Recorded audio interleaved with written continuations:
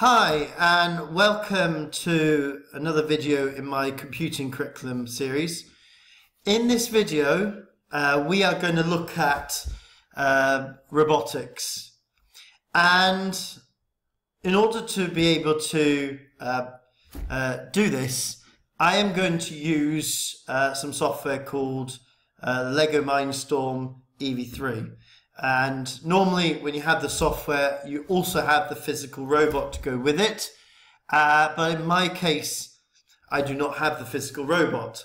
So I am going to use um, a piece of software, uh, which is a simulation um, called uh, the Virtual Robotic Toolkit. Uh, this is actually available from uh, www.virtualroboticstoolkit.com. And what this allows uh, people to do basically is instead of uh, programming a physical robot, because sometimes you, you may not have a, a physical robot available, uh, it allows you to program a robot but on the computer, a simulation. So what we're going to do first is we are going to have a look at very basic um, movement. Okay, so we're going to have a look at the move blocks. Now, I am going to go back to the LEGO Mindstorm EV3 software and I am going to create a new project. Okay, so first we, we are going to have a look at, at this move this move block, which um, is at the bottom. Now, very quickly in terms of the, the, the layout of the screen, okay? I am going to just close the content, content editor there.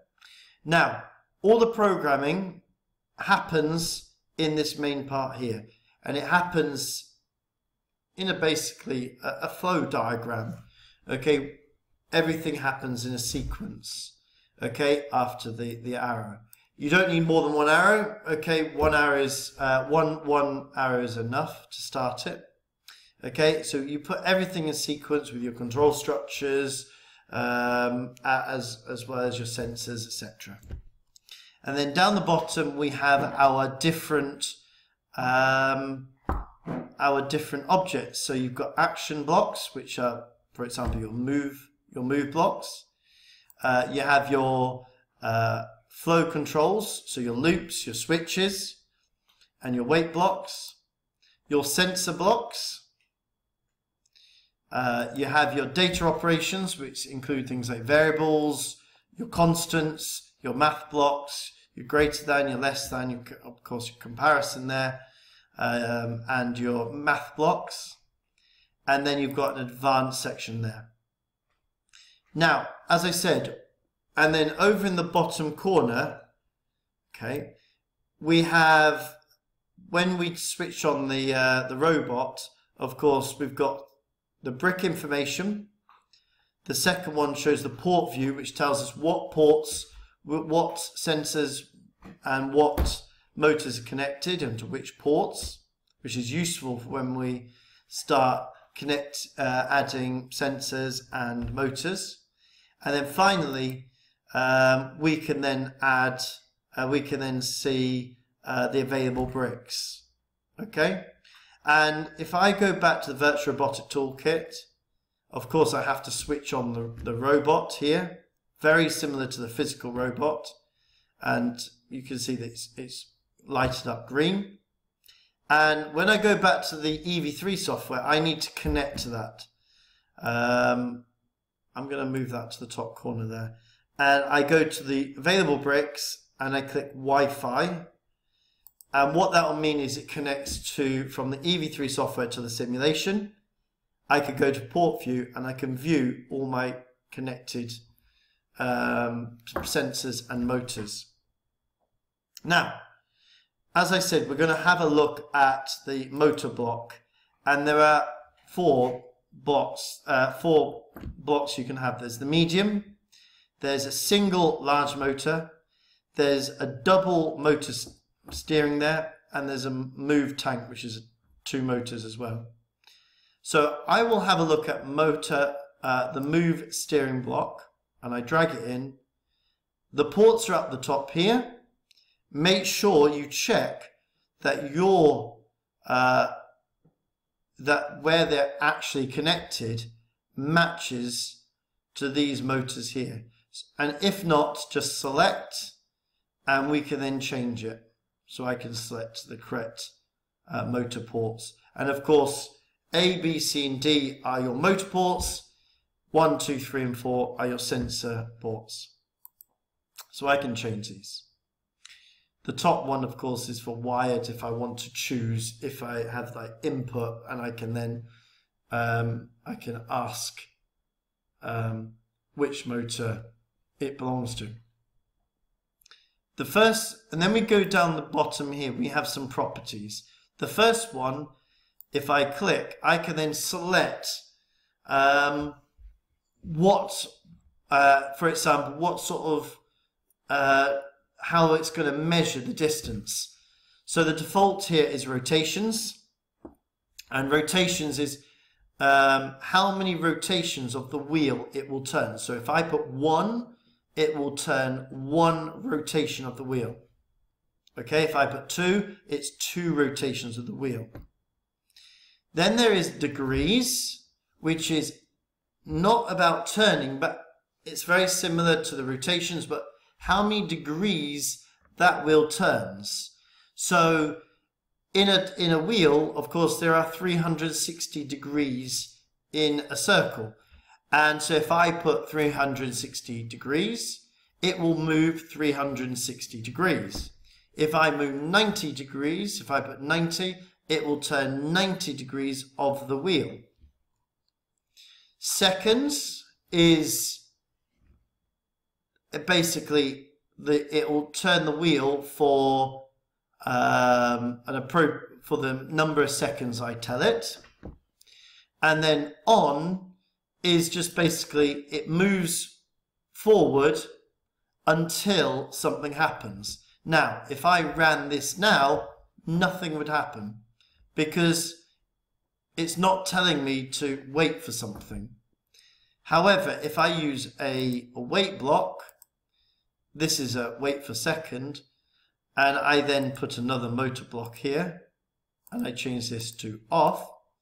This will move forward. It will just go until the counter, the sec, the timer gets to one second. Once it gets to one second, then it will then stop. If, for example, I change this to a touch sensor, uh, this means it's pressed. So it will move, it will just move forward until the button is pressed. Once I press the button, it will then move to the next block and it will stop. Okay? Unlike if I did uh, rotations, where this would just move for one rotation and then it would stop.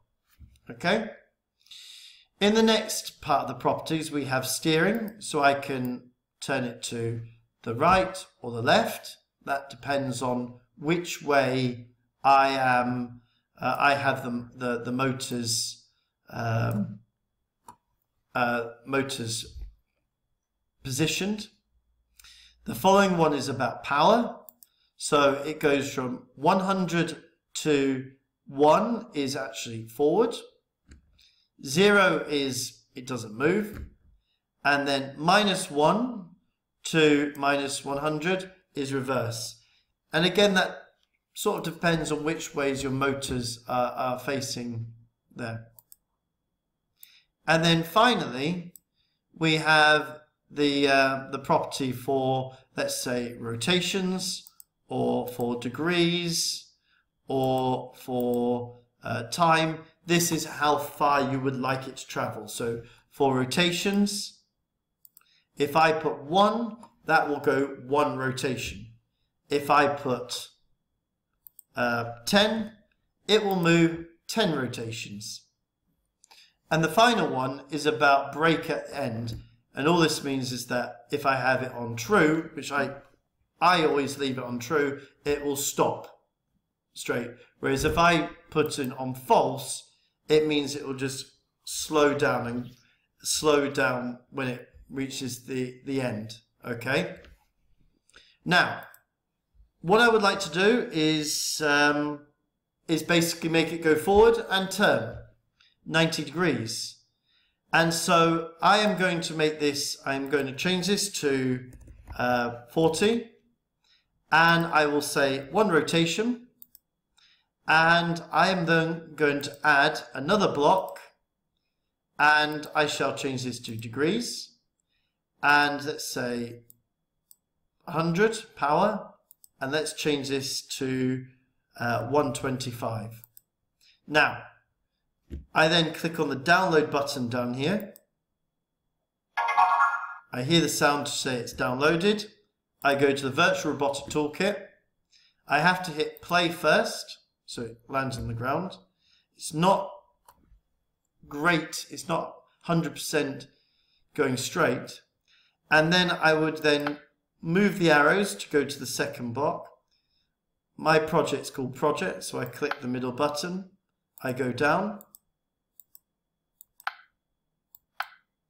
And I hit go, the middle button, and it goes forward, and it should turn. Didn't quite turn. Okay, so I can stop that, stop that. I come back. Ah, yes, I didn't, I basically told it to go forward. I need it to, to turn. So I turn this this way. Try again. Play. Forward. It doesn't quite turn enough. So I go back.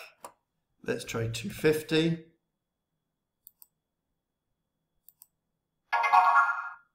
Okay. Stop. Oh, go play that first. Not quite enough. So of course I have to make this bigger. Let's try make this 500. Okay, stop.